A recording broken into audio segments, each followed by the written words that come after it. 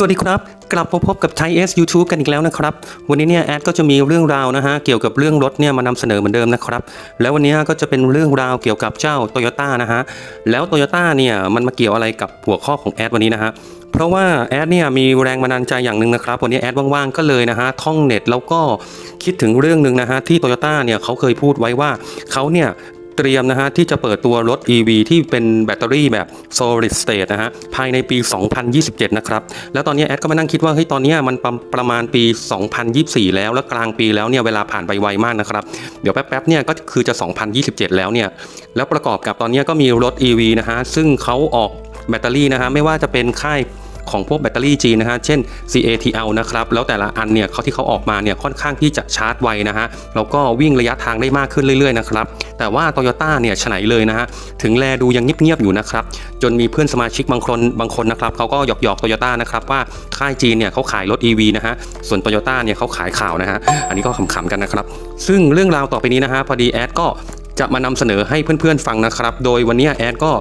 ตั้ง section ใหม่ของคลิปของแอดขึ้นมานะครับวันนี้ก็จะเป็นเรื่องเกี่ยวกับ car focus นะครับแล้ววันนี้ car focus ของแอดเนี่ยก็จะเป็นเรื่องราวของ t o y ยต้นะครับผมซึ่งจะเป็นอย่างไรเนี่ยเดี๋ยวเพื่อนๆรอติดตามกันได้เลยนะครับ แล้วพอแอดนะฮะเก็บความสงสัยนะครับที่แอดเนี่ยแจ้งไว้ตอนต้นนะครับว่า solid state ของ Toyota เนี่ยประทำไปถึงไหนแล้วใช่ไหมฮะแอดก็เลยลองเข้าของเว็บ Toyota ของญี่ปุ่นดูนะครับแล้วแอดเนี่ยก็ได้มาเห็นเรื่องราวนะฮะของเจ้ายาริสนะฮะซึ่งเป็นตัว 5 ประตูนะครับแต่ว่าแอดเนี่ยหาไม่เจอนะครับเกี่ยวกับเรื่อง EV แต่ว่าแอดท่องเน็ตเล่นๆคือจะมาแชร์ให้กับเพื่อนๆฟังนะครับว่าเจ้ายาริสเนี่ยมันน่าสนใจยังไง ซึ่งยาริสนะฮะสีแดงเนี่ยที่แอดเนี่ยเปิดรูปให้เพื่อนๆดูนะครับเขาเป็นยาริส5ประตูนะครับแล้วก็เป็นเครื่องไฮบริดนะครับซึ่งมันค่อนข้างที่จะน่าสนใจพอสมควรแล้วตอนนี้ก็คือขายอยู่ในประเทศญี่ปุ่นนะฮะก็คือขายอยู่นะครับตอนนี้ซึ่งประเด็นสำคัญของมันเนี่ยมันไม่ใช่ว่าเป็นรูปทรงหรือรูปร่างของมันนะครับซึ่งความน่าสนใจของยาริสรุ่นนี้นะฮะจะอยู่ที่เครื่องยนต์นะครับ ซึ่งเครื่องยนต์ของยาริสรุ่นนี้เนี่ยจะใช้เครื่องยนต์ 1.5L M15A FXE บวกมอเตอร์นะฮะซึ่งประเด็นเนี่ยที่แอดเนี่ยถึงขนาดต้องหยิบมาเล่าให้เพื่อนๆฟังกันเลยนะฮะ เป็นเรื่องเกี่ยวกับอัตราการสิ้นเปลืองน้ำมันเชื้อเพลิงนะครับ เดี๋ยวแอดเนี่ยจะค่อยๆเล่าเรื่องนี้ให้เพื่อนๆฟังกันนะครับ คือยาริซุนเนี่ยเท่าที่แอดเนี่ยอ่านในเว็บไซต์ของญี่ปุ่นมานะครับ แล้วก็มา Google Translate ให้เพื่อนๆฟังนะครับ มันจะแบ่งเป็นรุ่น X รุ่น G แล้วก็รุ่น Z นะฮะ รุ่น X เนี่ยซึ่งเขาบอกว่าเป็นรุ่นพื้นฐานนะฮะเขาจะสามารถวิ่งได้ 36 กิโลเมตรต่อลิตรนะครับ ฟังไม่ผิดนะครับเพื่อนๆ 36 กิโลเมตรต่อลิตรนะครับ ซึ่งเขาเคลมไว้ว่าโหมดเมืองเนี่ย เขาจะสามารถวิ่งได้ถึง 37.3 กิโลเมตรต่อลิตรนะครับ แล้วก็โหมดชานเมืองนะครับ อยู่ที่ 40.4 กิโลเมตรต่อลิตรเลยทีเดียวนะครับแล้วก็โหมดทางด่วนนะครับแอดคิดว่าน่าจะเป็นโหมดสปอร์ตนะครับจะได้อยู่ที่ 33.1 กิโลเมตรต่อลิตรนะครับแอดเล่าแบบนี้เนี่ยมีค่าย EV บางค่ายเนี่ยเริ่มที่จะเดือดร้อนแล้วนะครับ เพราะว่าค่อนข้างที่จะประหยัดน้ำมันมาก ๆ เลยทีเดียวนะครับ ต่อมานะครับแอดก็จะมาพูดเกี่ยวกับเรื่องดิเมนชันของรถ Yaris Hatchback ตัวนี้กันนะครับ ว่าเป็นอย่างไรกันบ้างนะฮะ ถ้าจะมาเปรียบเทียบเนี่ยแอดขอเปรียบเทียบกับ BYD Dolphin นะครับ EV ที่ขายดีมากที่สุดในตอนนี้นั่นเองนะครับ เปรียบเทียบกันเนี่ยถ้าเป็นความยาวนะครับ BYD Dolphin จะอยู่ที่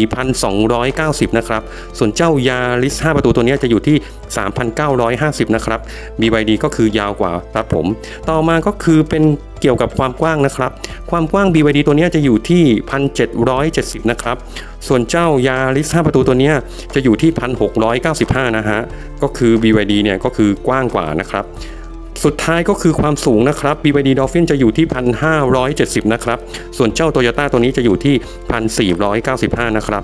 สรุปก็คือยาริสเนี่ยสัดส่วนโดยรวมทั้งหมดเนี่ยก็คือเล็กกว่าเจ้า BYD Dolphin นะครับ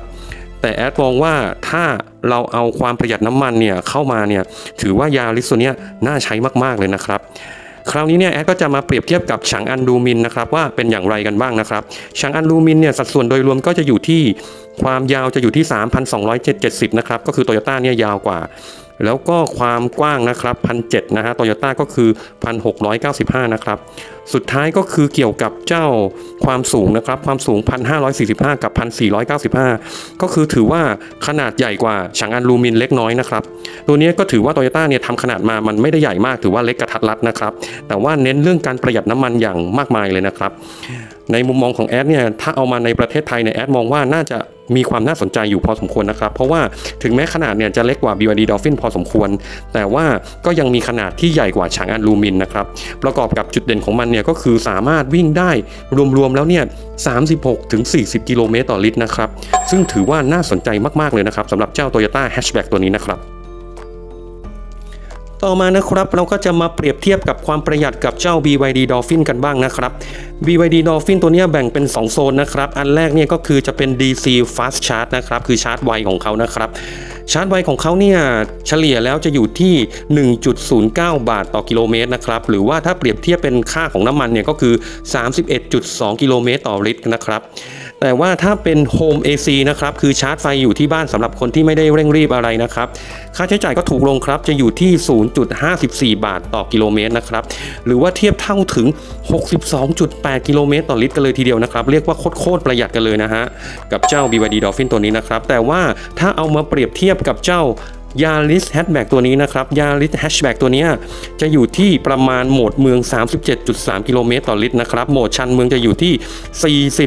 40.4 กิโลเมตรต่อลิตรนะครับ และสุดท้ายก็คือโหมดทางด่วนหรือสปอร์ตนะครับ จะเหลือเพียง 33.1 กิโลเมตรต่อลิตรนะครับ เรียกว่าเหยียบเพลินๆเหยียบอัดบ้างเบาบ้างเนี่ยจะอยู่ที่ 33.1 กิโลเมตรต่อลิตรเลยทีเดียวนะครับ แต่ว่าถ้าเอามาเปรียบเทียบกับเจ้า BYD Dolphin ในโหมด DC Fast Charge เนี่ยคือ BYD Dolphin แพ้นะครับ อยู่ที่ 31.2 กิโลเมตรต่อลิตรนะครับ ถ้าเกิด BYD Dolphin เนี่ยชาร์จไฟบ้านเนี่ย 62.8 ก็คือจะชนะของตัวยาริสแฮชแบ็กตัวนี้นะครับ แต่ว่าเพื่อนๆก็อย่าลืมนะครับว่ายาริสตัวนี้มันใช้น้ำมันนะครับ ซึ่งความไวในการเติมเนี่ยยังไงก็คือชนะในการชาร์จไฟบ้านแบบเหลือๆอยู่แล้วนะครับ อันนี้เนี่ยก็ถือว่าเป็นจุดเด่นมาก ๆ เลยนะครับ ถ้าเกิดเขาเอารถตัวนี้เข้ามาในประเทศไทยนะครับผมต่อมานะครับแอดก็จะมาเปรียบเทียบเรื่องราคากันนะครับ อันนี้สำคัญที่สุดเลยเห็นหลาย ๆ ครั้งแล้วเนี่ยพูดไปทั้งหมดสุดท้ายแพงขายไม่ได้ปล่อยเช่าก็มีนะครับ ถ้าเป็นราคาของเจ้ายาริสนี่นะครับ ถ้าเป็นรุ่น Z นะครับ รุ่น Z รู้สึกว่ามันจะเป็นรุ่นที่อุปกรณ์ค่อนข้างครบนะครับ ไฮบริดของเขาจะอยู่ที่ประมาณ2ล้าน4แสนเยนนะฮะตีว่า2ล้าน5แสนเยนนะครับ แต่ว่าแอดยังไม่ได้เอารุ่นนี้มาเปรียบเทียบนะครับ ถ้าเป็นรุ่น G ก็ประมาณ2ล้าน2แต่ว่าสิ่งที่แอดจะเอามาเทียบเนี่ยก็คือรุ่นล่างสุดของเขานะครับ น่าจะเป็นรุ่น X นะฮะซึ่งรุ่น X เนี่ยมันก็จะแบ่งเป็นหลายรุ่นนะครับ แต่ว่ารุ่นที่สามารถวิ่งได้ถึง 36 กิโลต่อลิตรนะครับ ตามที่แอดพูดเนี่ยจะเป็นรุ่น X ที่เป็นไฮบริดนะครับ จะอยู่ที่2ล้าน44,000 เยนนะครับผม ซึ่ง2ล้าน44,000 เยนเนี่ย แอดให้ไปเลยนะครับ2ล้าน1แสนเยนปัดไปเลยนะครับ แล้วก็มาคูณค่าเงินตอนนี้นะครับ ค่าเงินตอนนี้เนี่ย ค่าเงินเยนจะอยู่ที่ 0.23 นะครับผมซึ่งพอเอาคูณ 0.23 แล้วก็จะได้ 483,000 บาทเท่านั้นครับ โอ้ my god ถือว่าถูกมากเลยนะครับ ราคานี้เนี่ยปกติเนี่ยถ้าเกิดสมมุติโตโยต้าเขามีโรงงานในประประเทศไทยนะฮะแล้วสามารถผลิตในประเทศไทยได้นะครับ บอกเลยว่าตัวเนี้ยให้แอดบวกไปอีกประมาณสัก 30-40%เลยนะครับ ก็จะอยู่ที่ราวๆ7 0 0 0 0ถึง8 0 0 0 0นะครับ บอกเลยนะครับว่าแข่งกันสนุกพอสมควรเลยนะครับ เพราะว่าตอนเนี้ย BYD Dolphin จะขายอยู่ประมาณ 6,500ถึง6,900นะครับ แต่ว่าตัวนี้ถ้าเอามาประกอบในประเทศไทย แล้วก็นำชิ้นส่วนนะครับประกอบขึ้นมาเองทำเองนี่นะครับ บอกเลยว่าบวกอีกประมาณ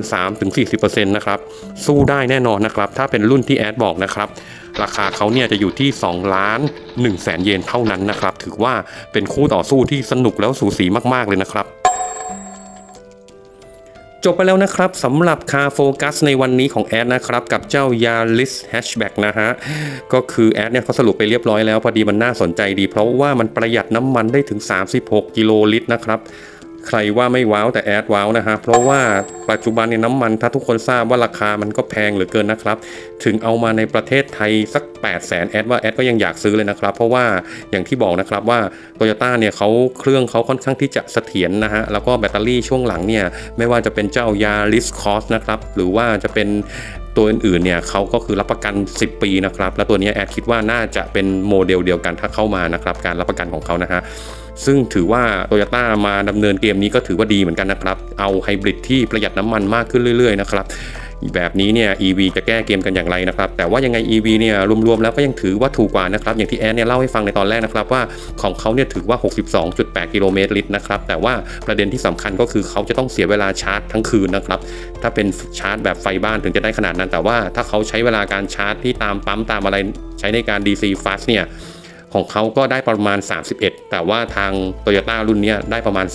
36 Toyota Yaris ก็คือจะชนะนะฮะ อันนี้ก็ถือว่าน่าสนใจเลยทีเดียวนะครับ ไม่แน่ใจว่าตัวนี้เนี่ยจะได้เอาเข้าไทยหรือเปล่าแต่แอดเชียนะครับว่าให้เอาเข้า เพราะว่าจริง ๆ รูปร่างแบบนั้นเนี่ยมันก็เหมาะสมกับประเทศไทยเหมือนกันนะครับ อย่างบางคนก็ถามว่าเฮ้ยทำไมที่ญี่ปุ่นเนี่ยรถ EV ถึงไม่ popular สักทีนะครับแอดเคยได้ไปทราบเหตุผลของเขามานะครับว่าประเทศญี่ปุ่นเนี่ยเขาค่อนข้างที่จะไม่ค่อยมีที่จอดรถนะครับต่างจากประเทศไทยนะฮะคือที่จอดรถของเขาเนี่ยเป็นเงินเป็นทองมาก แล้วถ้าเกิดที่จอดรถน้อยเนี่ยการที่เขาจะมานั่งชาร์จไฟนะครับแล้วอะไรพวกนี้เนี่ยจะลำบากกว่านะครับคล้ายๆกับประเทศไทยเราที่คนที่เช่าคอนโดอย่างที่แอดเนี่ยเคยกล่าวไปในคลิปที่แล้วนะครับว่าอย่างเจ้า Honda นะฮะ Honda City ก็ยังได้เปรียบอยู่ในเรื่องของการเติมน้ำมันที่เป็นไฮบริดนะฮะ